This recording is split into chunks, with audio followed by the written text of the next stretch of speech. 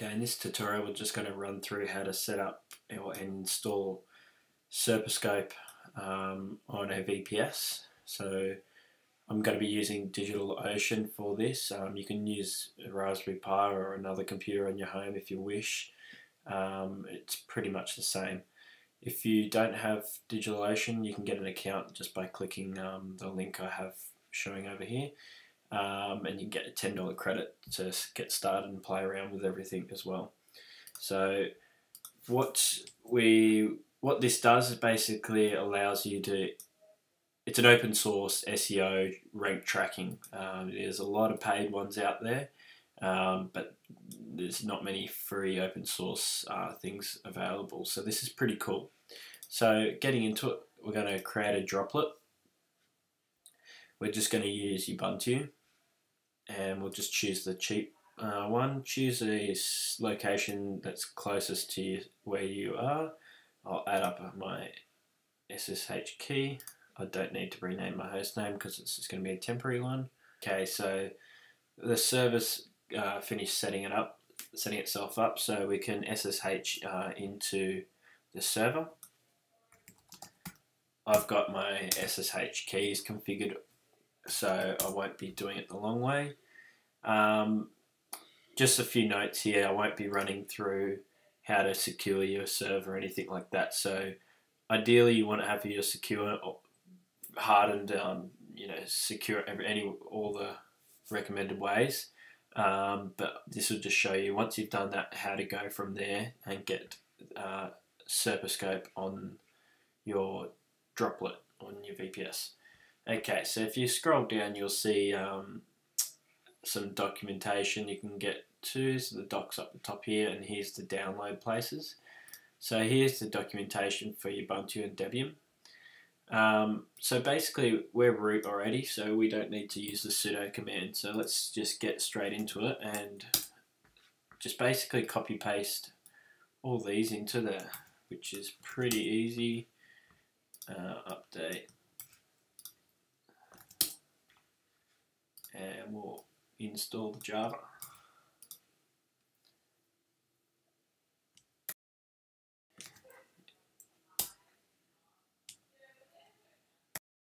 Get a should get a pop up like this coming through and just click OK and yes and then it will continue installing.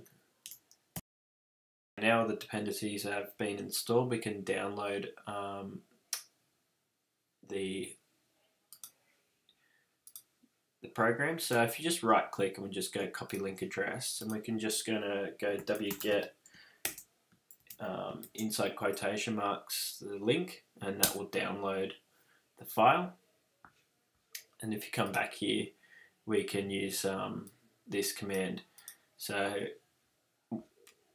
before you can't just use that because it will have the version number in it as well, so it won't work. So depending on what version number you download, so you can check that by just typing ls and you can do that. So dpkg dash i and then you can just copy paste that across and that will install it. Now that's installed, you can um, basically start the service. Just copy paste that. Start. Now that should be accessible by going to the droplet's IP address and then um, the port that it runs on. So 7134 is the default port. Then you should see here the login screen. Okay, if we want to take it one step further and secure, make it make it a bit more secure rather than not using 7134 for the port, let's say we just want to access it on port 80 or port 443 using uh, Nginx. So right now we don't have Nginx installed. So we can do that by apt-get install Nginx. Yep.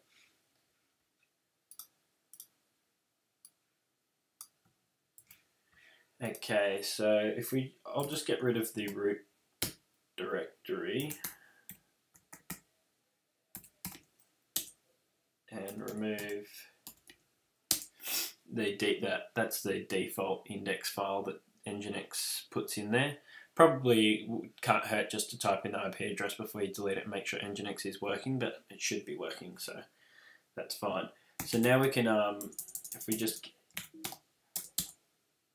nano into our server block, the Nginx site's available, and you can copy paste the default one if you want, like everyone recommends to, but I'm just going to quickly go through it, so I'll just use the default one. Um,